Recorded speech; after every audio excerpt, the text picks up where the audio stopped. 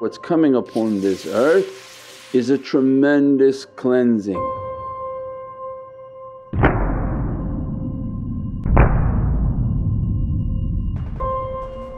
It's Allah's curse upon the earth. You don't want to reach me peacefully? Then they reach through their war and their killing of each other, their harming of each other.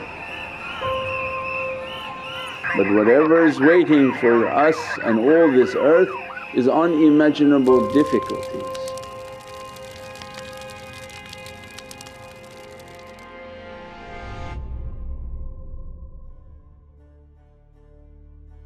The reminder for myself at least three times the teaching has to be repeated because everyone has a different understanding.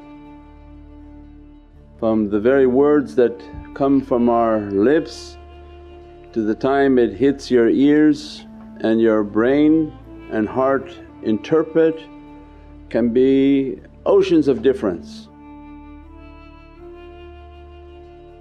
By continuously repeating the teachings then we have an ability to reprocess and maybe analyze again and that aha moment may come, ah now I understand what you're talking about.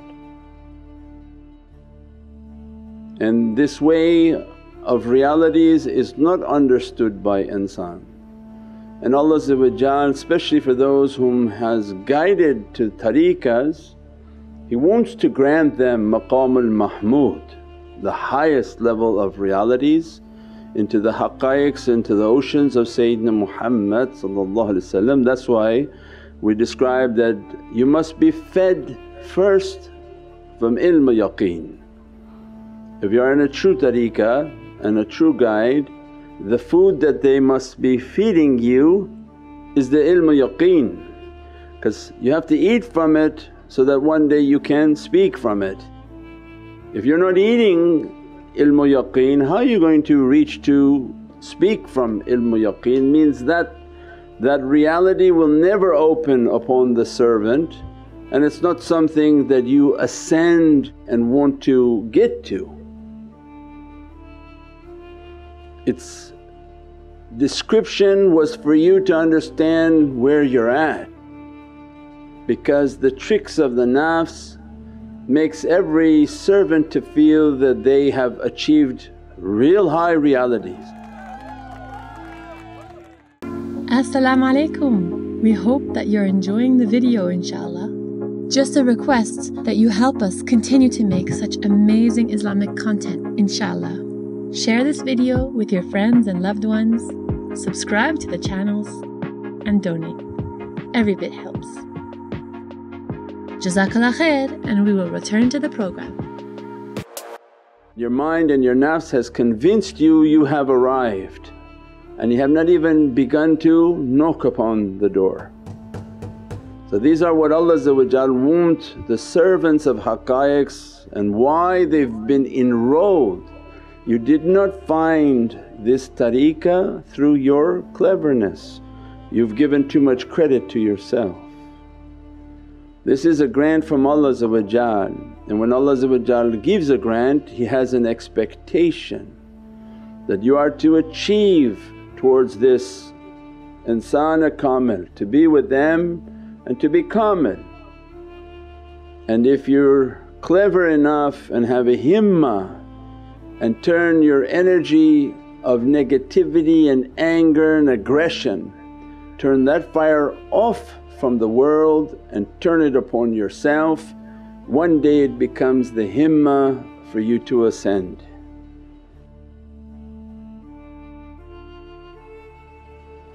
You're going to take an outward thrust and that's burning on everybody, angry about everything with everyone and you're going to be taught on how to use that energy so it's an internal himmah to want to conquer want to do the most they can for Allah and that's why I described it. They overcame their animalistic character their whole life was about how to please Allah and we describe it as up but it's really down. You don't ascend and rise, it's not an office and you're not in your business. When you get a raise at your office they give you a desk with a window. Say, congratulations you have now been given a desk and here's a window and you have now a window office. With Allah His congratulation is that He has smashed you. So we're not getting it. It's not going up but it's when Allah begin to humiliate the servant because He wants them to be humble.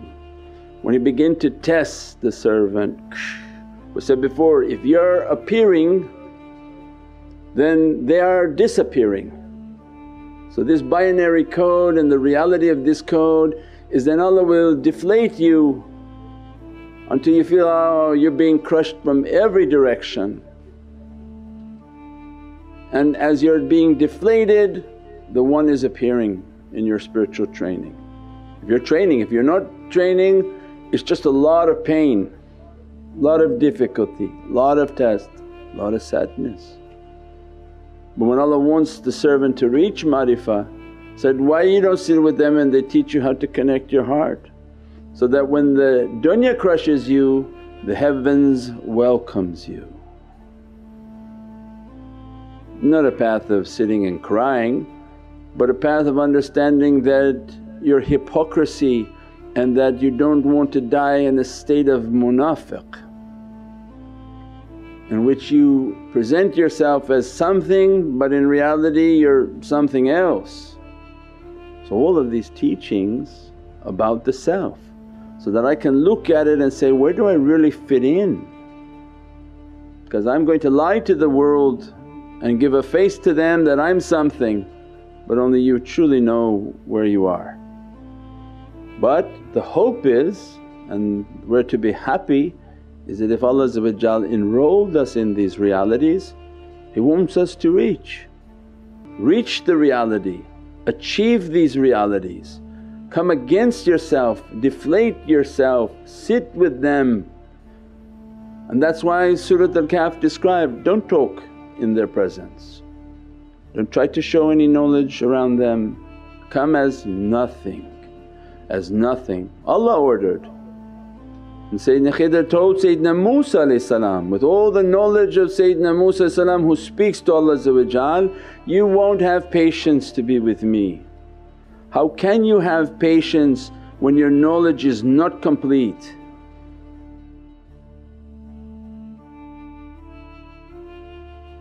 So whatever two things you think you know and you want to use those in your head to reach to marifah and enter with it the soup of philosophies and, and thoughts and, and, and theories, it will never reach.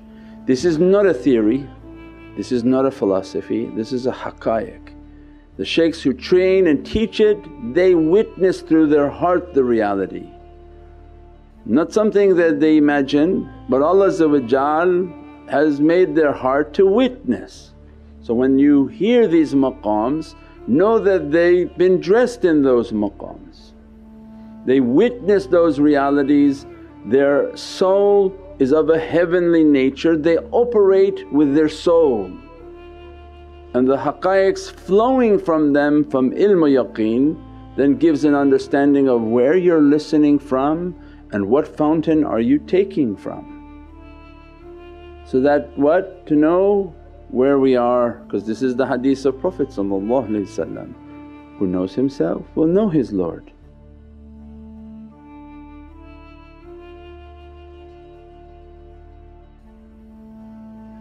If you don't know yourself then you don't know what Lord you're serving. If you think you're trying to serve Allah but you may only be serving yourself, you become content with yourself, the position of yourself and the delusion of yourself and that's the danger. Then Allah describes in Qur'an, what? Have you seen those? They make their desire their Lord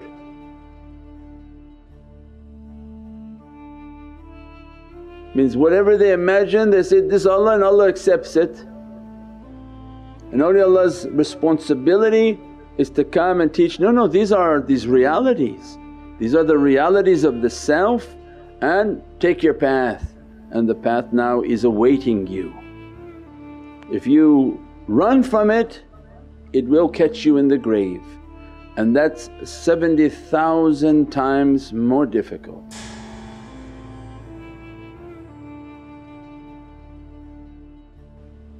And that's why they describe what's coming upon this earth is a tremendous cleansing because Allah is just, loves all His creation, expects all His creation to achieve these realities. If they're not going to achieve it by their spiritual training, they will be cleansed at the hands of men who have no rahmah, no mercy within their hearts. War is a cleansing. When two people begin to beat each other, they're cleaning each other like hammam, scrubbing.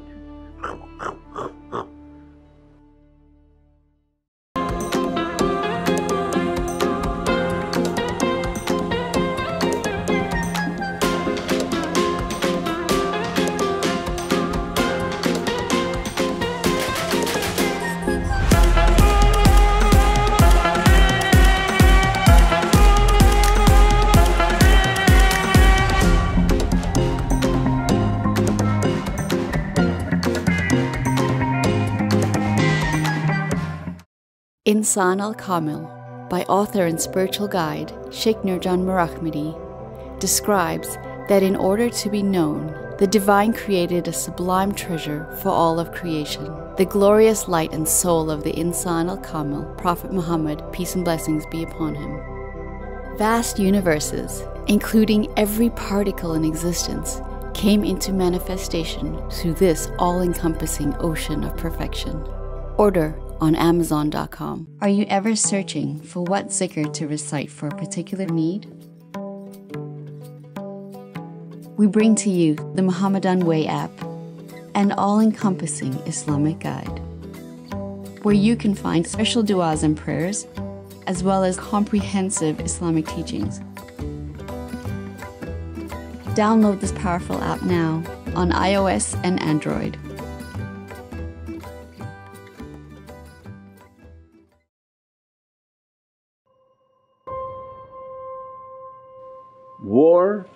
Is a cleansing, but whatever is waiting for us and all this earth is unimaginable difficulties. Better to put upon ourselves our own understanding. That's why they teach and the way that they teach. When you say that, ana abdukal ajisu da'ifu miskinu zalimu jahal, you're telling Allah I don't need you to beat me. I don't need you Ya Rabbi to send difficulty to me to humble me. I've already agreed with you, I'm nothing. So means then this whole life of ours was continuously deflate oneself, acknowledge our lowness and then you begin to understand the du'as of these awliyaullah. When they say that they're nothing, they're actually rising towards the heavens that took a path in which to have extreme difficulty put upon them. Your determination of your saying you're nothing is nothing. When Allah accepts your du'a He will make everyone treat you like nothing and you be years in that desert. It's not something that passed in one day. It's years of traversing a, a, desert in which everyone curses you, comes against you, disavows you. Means our way is through difficulty, through oceans of continuous testing. Then you are somebody who's like dust, not through your own words and your own determination but when Allah describes and when Allah is satisfied and when Sayyidina Muhammad says, Bas enough, this, this one is taking a big pounding. So the purpose of these teachings was for us to be clarified on this horizon and this movement The good news Allah wants us to achieve it. The better news is these awliyaullah through their knowledges and their madad and their support they uplift it and the path immediately becomes real through the testing and difficulties that people begin to experience.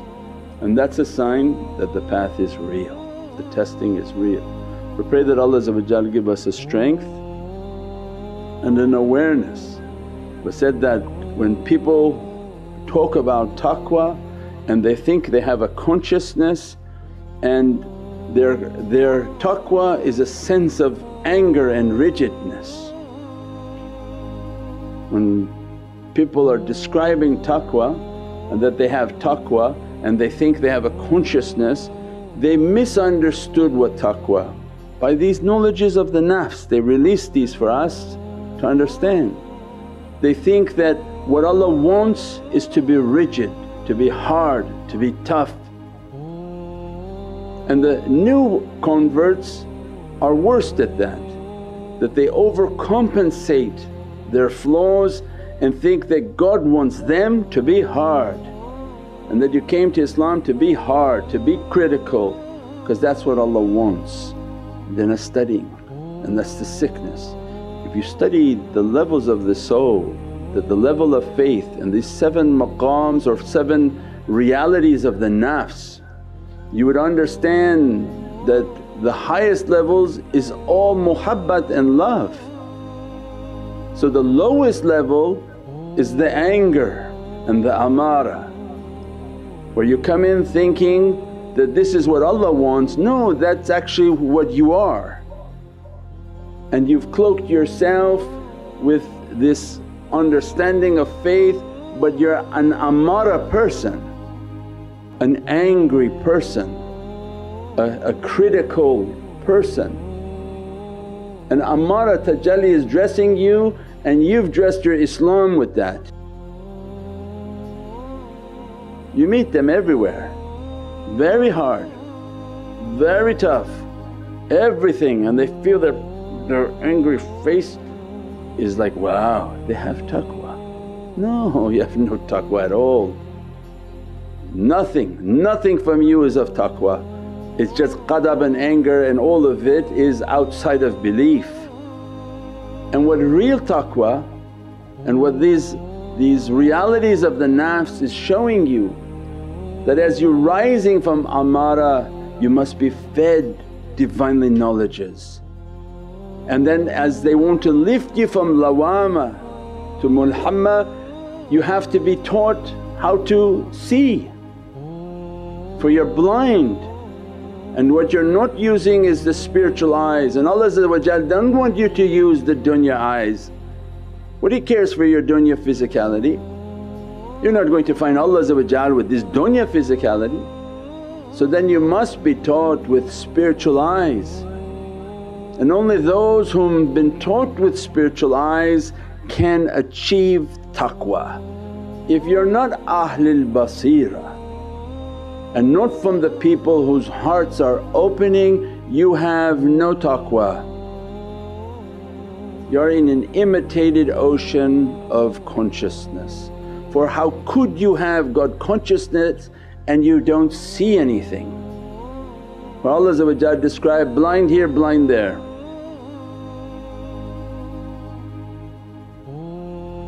If you are blind in this dunya, you are considered blind in your akhirah.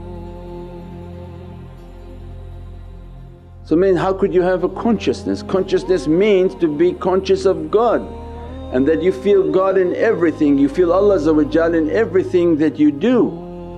So means Ahlul Basira when they're training, they're training to close their eyes. They, they're cutting themselves from dunya and it's not easy to sit and make time. And they have every excuse, oh this busy, this busy. Yeah okay everything's busy but you want to go to the grave like that? And they sit at night and they make their connection, make their connection, meditate, practice. That's why the third level was teaching you, make your meditation, keep your connection and your communication, help me, help me, help me, Nur Muhammad I'm visualizing, my heart is opening, I'm trying to breathe, I'm trying to keep my connection. Only at that time when you make this connection and you feel the light entering and you feel the souls of those that reality that's in front of you, your salah is becoming real, your salaamu alayka ayyuhan nabi wa ibadillahi saliheen. I feel when I'm praying and I'm in my tahiyyat I feel presence of Sayyidina Muhammad the energy. When you begin to feel them and feel their energy, now this energy that opens and the light that begins to open into your heart, you now understand the ocean of taqwa. Because if they start to open and open, your life then becomes that opening. The faiz comes through that opening the knowledges that they're teaching through that opening. Your whole existence through that opening. So imagine in dunya somebody said, all your money is cut as of tomorrow. No government will help you, Allah says, you're cut. That's your taqwa of dunya. Imagine then when your heart is open and you do these funky things and Allah send a signal to your heart is cut for you, correct yourself. That's taqwa because they have something to lose and they don't want to lose it. Someone who doesn't feel anything, see anything, sense anything, how could he have a consciousness of God? Is behind a steel wall, what does it matter if the steel is one foot thick or seven feet thick? Is behind steel doesn't see or feel anything. There's no consciousness. So then the, how do they, they compensate? Then they become angry to show we have consciousness. No they missed it. When they study the, the reality of the nafs, your consciousness would have made you fall in love with Allah As Allah take away the parda and the light enter into your heart, Allah is love. Allah is, is every beatific reality that could be imagined. And what He requires is the good character. And what you don't know Allah says, don't matter. If you have good character with me, I will teach you. I will send angels to teach you. I'll send all precious souls to sit and begin to teach you. Because when Allah teaches, the whole of Allah's kingdom will teach that servant. And it's all based off of love and adab and they find Allah teaching them in everything. And that's what that hadith was. The maqam al-ihsan is to see Allah because it's two-sided. When you see Allah then know Allah seeing you. For if you see Allah it's not obvious then Allah seeing you too? You understand your whole life is under the command of His might and His majesty and everything beatific is coming from that reality. Everything is based off of love, created every creation out of its love. So the khuluq must have changed towards muhabbat, compassion, everything beatific, every good characteristic, every type of forgiving characteristic because they've been forgiven. They know that one day somebody is a kafir, the next day he's a believer.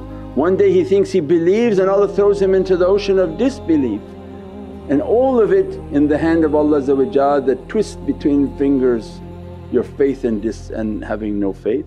So they understood the consciousness of Allah So there is no consciousness without the heart opening. بحرمة محمد المصطفى وبسير سورة الفاتحة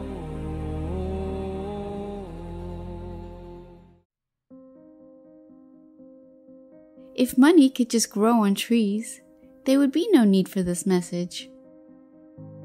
Since it doesn't, let us show you where your generous donations are going. We film, edit, and produce weekly television shows of Divinely Knowledge throughout Canada and the UK. As well as live stream internationally on Facebook and YouTube.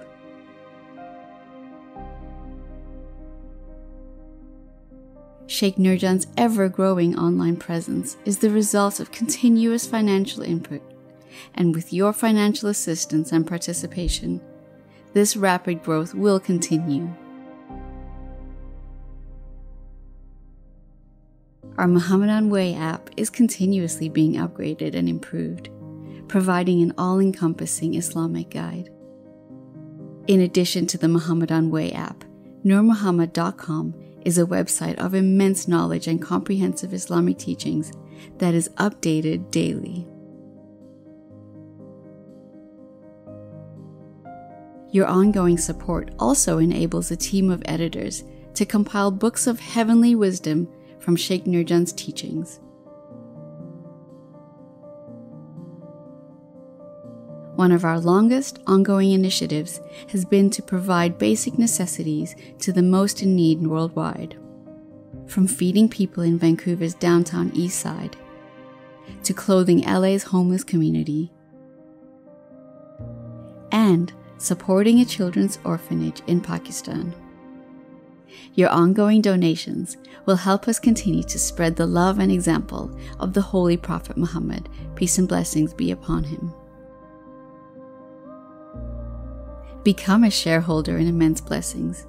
NurMuhammad.com forward slash donate.